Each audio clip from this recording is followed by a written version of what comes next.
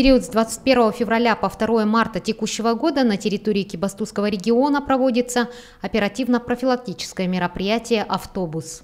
Так как автобусы осуществляют а, перевозки пассажиров, а, будут ежедневно проверяться их техническое состояние, наличие на переоборудование, а также дисциплина водителей.